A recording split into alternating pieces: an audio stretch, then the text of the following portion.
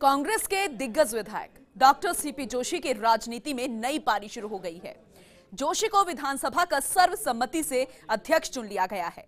अब गुरुवार को सदन में राज्यपाल का अभिभाषण होगा और क्या खास रहा आज विधानसभा में, देखिए हमारी खास रिपोर्ट।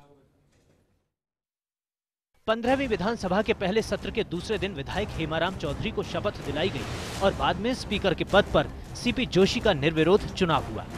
सीपी जोशी के विधानसभा अध्यक्ष निर्वाचित होने पर सबसे पहले मुख्यमंत्री अशोक गहलोत ने सदन की ओर से उन्हें बधाई दी। गहलोत ने कहा कि सदन से आपका रिश्ता 38 साल पुराना है। सभी पार्टियों ने आपके नाम का प्रस्ताव किया है। इस कारण विधानसभा अध्यक्ष के तौर पर आपकी ज़िम्मेदारी और भी बढ़ जाती है। मैं अपनी ओर से, पूरे सदन की ओर से, सबसे पहले मैं आपको बहुत बहुत मुबारकबाद। आपके नाम का प्रस्ताव पक्ष ने विपक्ष ने और तमाम पार्टियों ने, चाहे कांग्रेस, बीजेपी, बीएसपी, बीपीटी तो सबने मिलके आपके नाम का प्रस्ताव किया। और सर्वसम्मति से आप चुने गए हैं। और जब सर्वसम्मति चुने जाते हैं तो जिम्मेवारी बहुत बड़ी बढ़ जाती है। मेवाड़ के ही भाजपा के दिग्गज नेता प्रतिपक्ष गुलाबचंद कटारिया ने भी सीपी जोशी को बधाई दी। कटारिया ने कहा कि सदन को चलाने में आपका अनुभव काम आएगा। राजेंद्र राठौड़ और संयम लोढ़ा के अलावा दिव्या मदेरणा ने भी सीपी जोशी को सदन में बधाई दी। राजस्थान विधानसभा के सर्वोच्च पद पर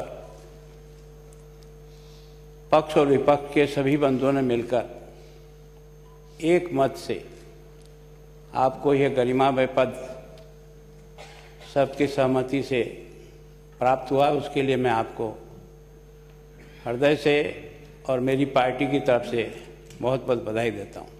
मैं आपको आश्वस्त करता हूँ कि हम प्रतिपक्ष के नाते जनता के हर हित की रक्षा के लिए कटिबद्ध हैं और उसके अनुसार अपने आचरण के द्वारा राजस्थान की जनता को आश्वस्त करते हैं कि जो आपके द्वारा मैंडेट हमको मिला है, हम उसको सर माथे पर रखकर स्वीकार करते हैं और लोकतंत्र की इस गाड़ी को पक्ष और विपक्ष दोनों मिलकर इस लोकतंत्र को ऊंचाई पर ले जाने का प्रयत्न करें।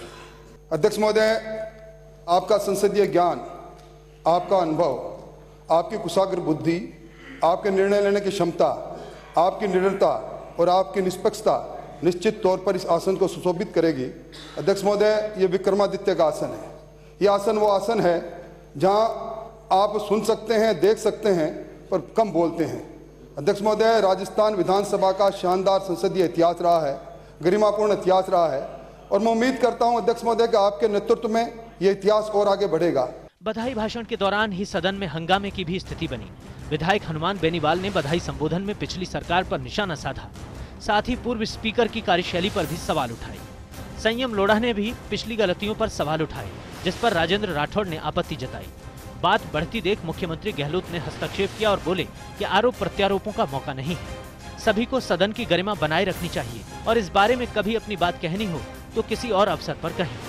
इसके बाद मीडिया से बातचीत में सीपी जोशी ने कहा कि वे परंपराओं और नियमों के आधार पर सभी के सहयोग से सदन को चलाएँगे। नई विधानसभा में आज अध्यक्ष पद पर सर्वसम्मति से मुझे जो निर्वाचित किया, उसके लिए मैं सभी दलों का और मान्य सदस्यों का मैंने बहुत आभार व्यक्त किया।